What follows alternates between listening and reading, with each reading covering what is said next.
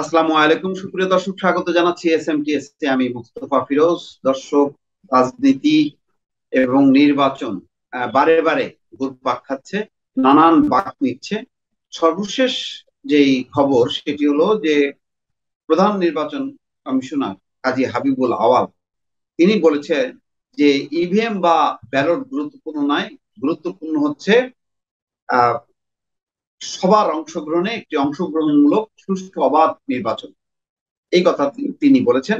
তিনি বলেছেন যে সরকার ইভিএম প্রকল্প আট হাজার কোটি টাকার সেটি পাশ করবে কিনা সংশয় আছে এবং এই প্রকল্প কতখানি সফল হবে না হবে সেটি সংশয় আছে।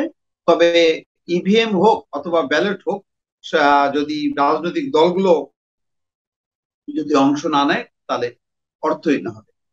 অন্যদিকে আজকে জিএম কাদের জাতীয় পার্টি এবং জামা তারা আওয়ামী লীগ এবং বিএনপির বাইরে এই দুটি রাজনৈতিক দল, তারা ভিন্ন কৌশল নিয়ে এগোচ্ছে। জিএম কাদের বলছে যে, আগামী নির্বাচনের আগে অনেক উত্থান পতন হবে, সেটি দেখে জাতীয় পার্টি সিদ্ধান্ত নেবে। অন্যদিকে তর সইছে না জামাত ইসলাম। তারা হঠাৎ হঠাৎ করে রাজধানীর বিভিন্ন অংশে অঘোষিত ভাবে তারা তাদের শক্তি প্রদর্শন করছে। হঠাৎ করেই তারা মহাখালীতে বিশাল এক সমাবেশ করেছে, মিছিল করেছে এবং সেখানে বিএনপিকে উদ্দেশ্য করে বলেছে যে এখনই আন্দোলন দিতে হবে। যদি এখনই আন্দোলন কর্মসূচি দেয়া না হয়, তাহলে জনগণ আস্থা পাবে না। সরকার তার মতন করে ঘর গুছিয়ে নেবে। এরকম একটি ইঙ্গিত দিয়েছে। আর জাতীয় পার্টি হচ্ছে ধীরে সুস্থে পরিস্থিতি বিবেচনা করে তারা একটা সিদ্ধান্ত নিতে চাচ্ছে, এমন একটি অবস্থায় যাচ্ছে। অন্যদিকে অনেকে বলছেন যে কাজী হাবিবুল আওয়াল, তিনি হয়তো এই করোনার আক্রান্ত হবার কারণে তিনি একটা লম্বা সময় নির্বাচন কমিশনের বাইরে ছিলেন। তিনি হয়তো উপলব্ধি করতে পারছেন যে, যদি শেষ পর্যন্ত বিএনপি নির্বাচনে না আসে, তাহলে আট হাজার কোটি টাকার ইভিএম প্রকল্প একেবারেই মানে এটা পানিতে যাবে, কেননা তখন হাস্যকর হয়ে যাবে যে বিপুল টাকা ব্যয়ে ইভিএম প্রকল্প, অথচ বিরোধী দল নেই।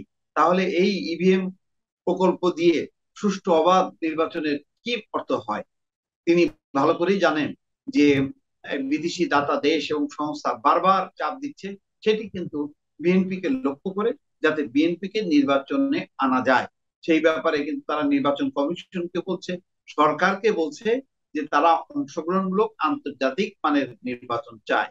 কিন্তু সেই ব্যাপারে কোনো উদ্যোগ আয়োজন সরকারের পক্ষ থেকে না হয়, ইতিমধ্যে কিন্তু হতাশা ব্যক্ত করেছেন পশ্চিমা কূটনীতিকরা। তারা মনে করছেন যে বর্তমান যে সহিংস রাজনৈতিক পরিবেশ, সেটি সুষ্ঠু নির্বাচনের জন্য সহায়ক নয়। তারই একটি প্রতিধ্বনি বা প্রতিফলন আমরা কিন্তু কাজী হাবিবুল আওয়ালের বক্তব্যেও পেলাম। তিনি যে পরিমাণ ইভিএম এর পক্ষে সরব ছিলেন, এখন বলছেন যে ইভিএম গুরুত্বপূর্ণ নয়, গুরুত্বপূর্ণ হচ্ছে অংশগ্রহণমূলক নির্বাচন। সেই নির্বাচনে যদি সব দল অংশ না নেয়, তাহলে এই নির্বাচন অংশ অর্থহীন হবে। অর্থাৎ পশ্চিমাদের যে হতাশা, যে উদ্বেগ উৎকণ্ঠা, সেটি কিন্তু প্রতিফলিত হচ্ছে এখন সির কণ্ঠে। তাদের মধ্যে একটা ঐক্যতান লক্ষ্য করা যায়। এই অবস্থায় রাজনীতির যেই হিসেব নিকেশ অত্যন্ত জটিল হয়ে যাচ্ছে। প্রধানমন্ত্রী যুক্তরাষ্ট্রে একটি লম্বা সফরের পর তিনি এসছেন। তিনি রাজনৈতিক পরিস্থিতি নিয়ে সলা পরামর্শ করছেন। তার যে উপলব্ধি বা সিদ্ধান্ত, তার উপর কিন্তু অনেক কিছু নির্ভর করে। দর্শক, আপনারা জানেন যে বাংলাদেশের এই মুহূর্তে রাজনীতি ক্ষমতা সবই প্রধানমন্ত্রীর হাতে কেন্দ্রীভূত এবং ওনার যে সিদ্ধান্ত হবে, সেই সিদ্ধান্তের বাইরে আসলে অন্য কিছু ঘটবে না। ফলে প্রধানমন্ত্রী মার্কিন যুক্তরাষ্ট্র এবং যুক্তরাজ্য সফরের পর রাজনৈতিক বাস্তবতায় তিনি কি সিদ্ধান্ত নেন, কি বলেন, তার উপরেই কিন্তু নির্ভর করছে নির্বাচন কমিশন কি করবে, পশ্চিমা দূতরা তাদের তৎপরতা কেমন হবে অথবা জাতীয় পার্টি, জামাত বিএনপি, তারা নির্বাচনের বিষয়ে কি কৌশলে যাবে? সামনের দিনগুলোতে কি আন্দোলনের পথে যাবে? নাকি সংলাপ, সমঝোতার মধ্য দিয়ে অগ্রসর হবে? সেটি কিন্তু খুবই যে রাজনীতির যে নানান বাক বা গতি, মুহূর্তে মুহূর্তে কিন্তু পরিবর্তন হচ্ছে।